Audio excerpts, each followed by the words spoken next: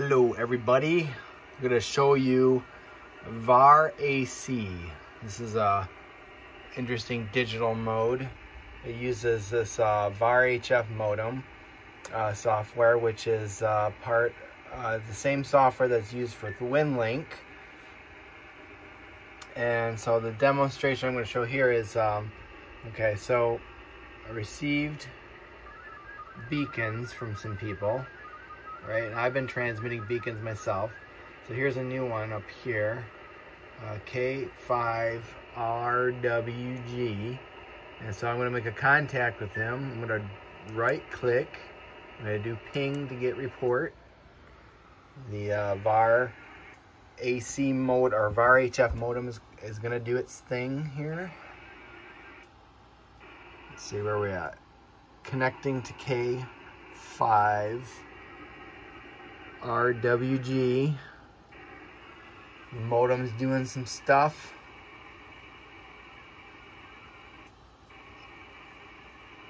And it's making some contacts. There we go. It's making a contact. If I wanted to, I could actually try to chat with him, but I don't want to.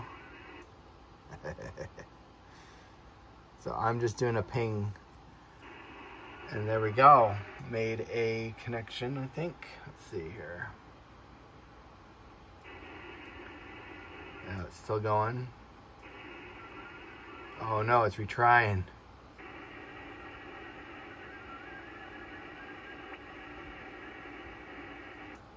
Let's see. Ping result negative seven. And disconnected. So there we go, we made a contact. If I scroll over to the uh, logs, logs, opens up a new window and so you go, I made contacts with some people. so I don't know if this is as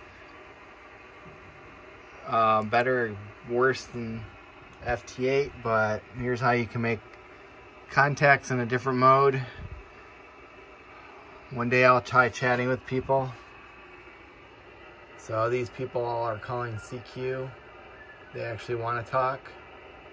So I could actually talk to them, but I'm not going to. So maybe in another video.